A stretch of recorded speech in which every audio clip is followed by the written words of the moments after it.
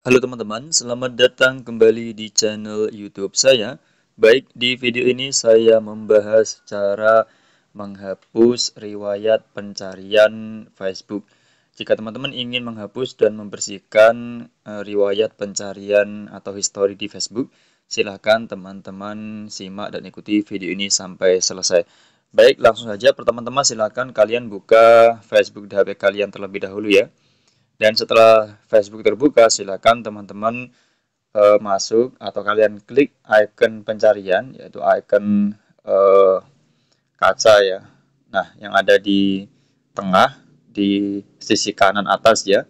Oke, klik seperti ini, kemudian kalian klik lihat semuanya. Nah, di sini untuk menghapus riwayat pencarian ini, silakan kalian klik tanda X ya. Nah, di sini klik tanda X, Nah, seperti ini untuk menghapus satu persatu. Namun, untuk menghapus semuanya, jika kalian ingin menghapus semua, langsung aja kalian klik hapus semua. Nah, kemudian silakan teman-teman klik hapus semua. Nah, bisa dilihat untuk riwayat pencarian Facebooknya sudah bersih ya. Oke, kita coba cek lagi. Nah, di sini sudah tidak ada uh, akun mana pun ya.